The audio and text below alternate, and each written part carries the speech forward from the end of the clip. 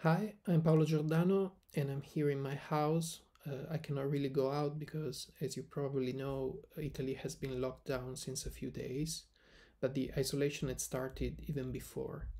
Uh, I used this uh, weird empty time to write How Contagion Works, which is a short chronicle of this lockdown, but it's mostly an attempt to be to explain um, in a simple and clear way uh, what is happening.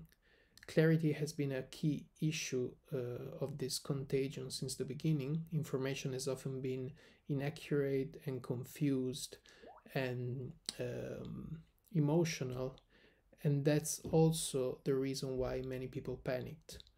Um, I thought it would be worth it to go back to my background in physics and explain some of the numbers and of the math that is behind all this. Uh, but how contagion works is also uh, a wider reflection on things that this uh, uh, contagion is unraveling about our society especially and about our behavior our relationship with nature and environment um, it is a strange opportunity to um, formulate and elaborate on these thoughts.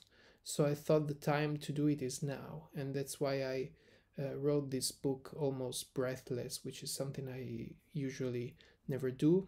And I hope it will be of some help to people who will go through this situation uh, in other countries after Italy.